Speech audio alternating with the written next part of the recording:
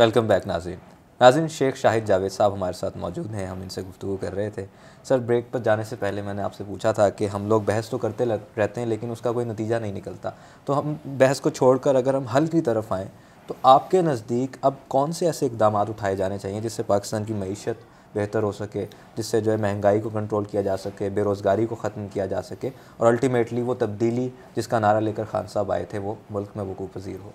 अच्छा जी इसको मैं पहले तो कहूँगा कि बदकिस्मती है हमारी कि हमारी आवाम को वो सत्तर सालों के यहाँ की करप्शन गन बेरोज़गारी मैं करप्शन क्योंकि सबसे बड़ी माँ है इसकी वो लिटरेसी रेट हमारा कोई नहीं है हमें वो वो नहीं नज़र आया सत्तर सालों में कैसी बात है हम्म। और हम लोग क्या हम लोग कह रहे हैं ढाई सालों में हमें वो तब्दीली नज़र आ जाए जो जो सत्तर सालों की खामियों को पूरा कर दे। बात यह है कि बेहतरी हो रही है। देखें सबसे पहले ये चीनी का एक स्कैंडल आया। हम्म। पूरे सोशल मीडिया पे तूफ़ान बदतमीज़ी थी। पूरा अपोजिशन लगी हुई थी जी ये जब नाम आएँगे तो तब पता चलेगा। हम्म। उनको पता था कि जहांगीर तरीन साहब का नाम है। नाम आ गया। उसके बाद उन्होंने कहा जी कि अब जब इन पे केस बनेगा तब पता चलेगा। केस भी बन गया।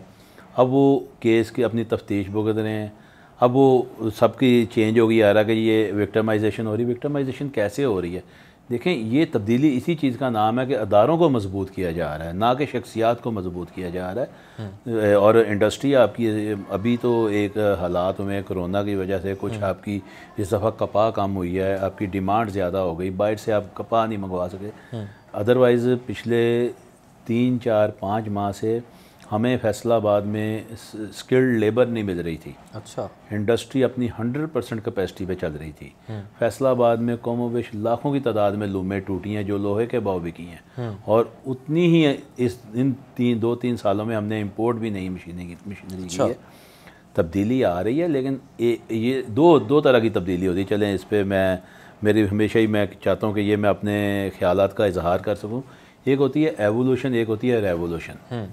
रेवोल्यूशन वो ये है कि नीचे से यकदम का एक दूसरे को मारना शारना यानी खूनी इनकलाब इनकलाब। इनकलाब किसी भी सूरत किसी भी कौम के लिए अच्छा नहीं होता। ना उसमें आपकी जान महफूज होती ना माल ना इज़्ज़त ना कुछ कोई भी। क्योंकि कमरे में हम पाँच बंदे बैठे हैं तो पाँचों की आपस में राय नहीं मिलती तो इख्तलाफ होगा। हम्म। ये है रेवोल्यूशन। ये तो हम कभी भी नहीं चाहेंगे कि पाकिस्तान में कभी नौजबिल्ला ऐसा हो। अच्छा। ये दूसरी तब्दीली है एवोल्यूशन। वो चेंज जो स्लो स्लो आती है और वो हमेशा टॉप से आती है।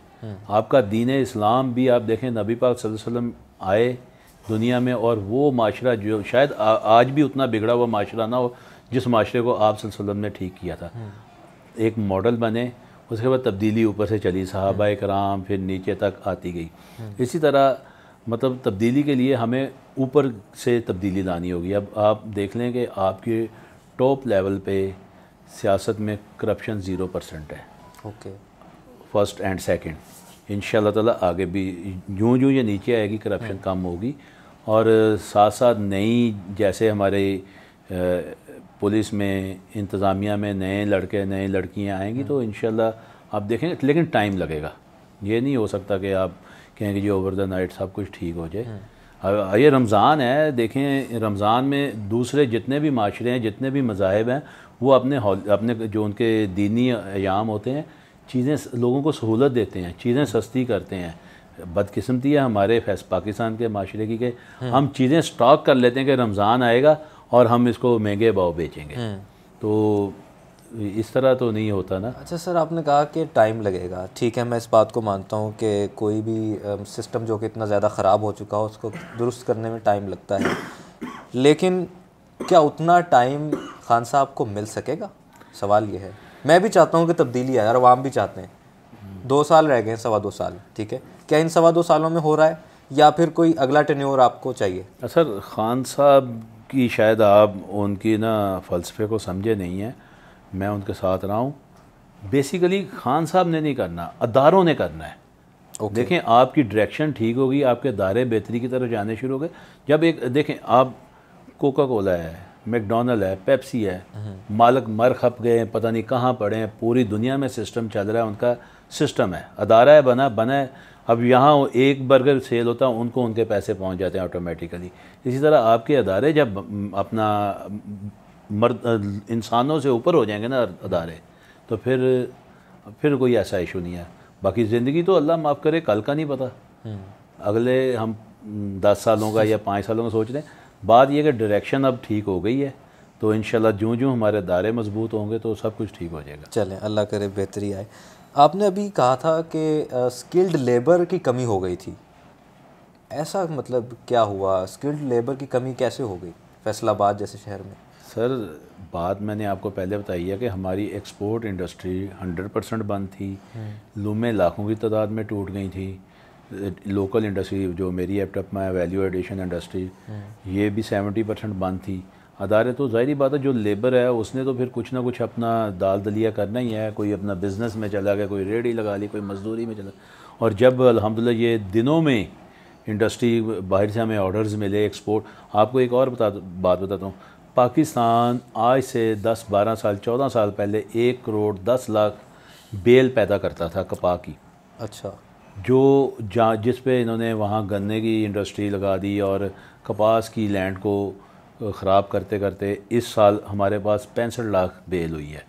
और ये पहली दफ़ा हुआ हमारी लोकल और एक्सपोर्ट की डिमांड को देखते हुए हमें एक एक करोड़ चालीस लाख बेल चाहिए थी। अच्छा। कि इतनी हमारे पास आए और हम एक्सपोर्ट भी करें इंडस्ट्री चले।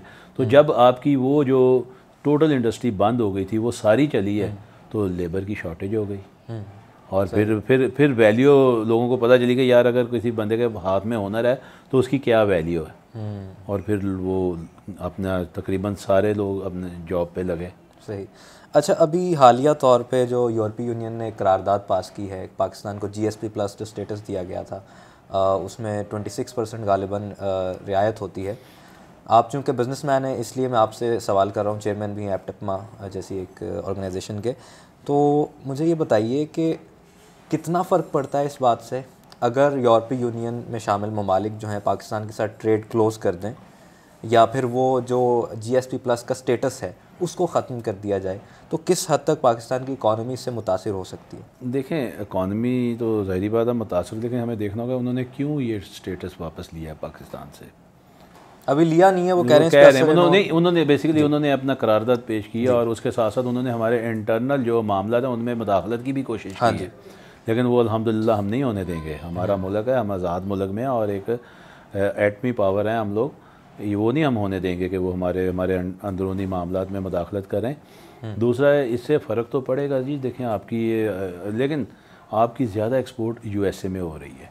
अच्छा। आ, इस पर भी मैं अपने बिज़नेसमैन जितने भी हमारे दोस्त भाई अहबाब हैं उन्हें ये कहूँगा कि यार गवर्नमेंट का काम है एक दफ़ा दो दफ़ा आपको मौके देना। उसके बाद अपनी आप पूरी ईमानदारी के साथ एक्सपोर्ट करें। यहाँ बहुत कुछ होता रहा है कि हम लोग कहते कुछ थे और आगे कुछ पहुँचता था। तो उनको आप उनकी मजबूरी बन जाए वो जितनी मर्ज़ी पाबंदियाँ लगा दें जब आपका मटेरियल आपकी चीज़ आपकी कॉस्ट उनको समझ में आएगी वो क्यों नहीं लेंगे आपसे? तो इस पर भी हमें सोचना होगा। एज आ कॉम हम करप्ट है। मैंने हासिल कॉम हम बिल्कुल करप्ट हो चुके हुए हैं कि जी हर बंदा दूसरे को काटने के चक्कर में हम्म, लगा रमज़ान में आप देख लें ना रमज़ान में जो है रमज़ान एक वो मुबारक महीना जो खुशकस्मत लोगों को मिलता है। तो इसमें हमने ये कुछ कर दिया तो जब हम चीज़ यूरोप में बेचते हैं या गोरों को देते हैं तो हम हमारे सोचते नहीं कि हम क्या कमिटमेंट हम्म। है और क्या दे रहे हैं। हम्म, तो फ़र्क तो इससे पड़ेगा जी। सही। अच्छा तो बिलखसूस उन्होंने बात की है ये जो पाकिस्तान ने फ्रांसीसी सफ़ीर को मुल्क बदर करने के हवाले से करारदाद कौमी असम्बली में पेश की थी ना इसको मेंशन किया गया वहाँ पे कि पाकिस्तान इस तरह की जो है चीज़ें सोच रहा है। तो यूरोपीय यूनियन जो है सिर्फ़ एक फ्रांस उनका मुल्क है मेंबर उसको अगर टारगेट किया पाकिस्तान ने, या अभी तो किया भी नहीं, सोचा ही था तो पूरी यूरोपीय यूनियन ने भारी अक्सरियत से एक करारदाद हमारे खिलाफ मंजूर कर ली। तो हमारी जो एक इस्लामी ममालिक की तंजीम थी, जिसे ओआईसी कहा जाता है, ठीक है? यहाँ पर आपके ख़्याल में क्या इस्लामी ममालिक को इसी तरह इतिहाद की ज़रूरत नहीं है? कि जिस तरह अगर एक फ़्रांस की तरफ़ ज़रा सा ये सफ़ीर को मुल्क बदल करना कोई बड़ी बात नहीं होती। आपको पता है अमेरिका चाइना के अक्सर ये इस तरह के तलखियाँ होती रहती हैं। हम्म। सफ़ीर उधर से भी निकलता है इधर से भी निकलता है दोबारा पॉइंट हो जाता है। वक्ती तौर पर एक आवाम के जज्बात को ये तो एक ठंडा करने के लिए जो एक चीज़ इस्तेमाल होती है। लेकिन ये भी उनसे बर्दाश्त नहीं हुई। तो आपके ख्याल में क्या इस्लामी ममालिक का इतिहाद ख़त्म हो चुका है? बड़ी बदकिस्मती है जी इस्लामिक ममालिक में हमें कोई लीडर ही नहीं प्रॉपर मिल सका। देखें ये जब उन्होंने हमारे नबी पाक वसल्लम की शान में गुस्ताखी की तो दो पूरी दुनिया में लीडर बोले। एक तैयब अर्दगान और दूसरे इमरान खान। इमरान खान असम्बली में बोले। यहाँ पर हमें एक सोचना होगा खान साहब ने ओआईसी के ओआईसी के मेंबर्स को भी खत भी लिखा।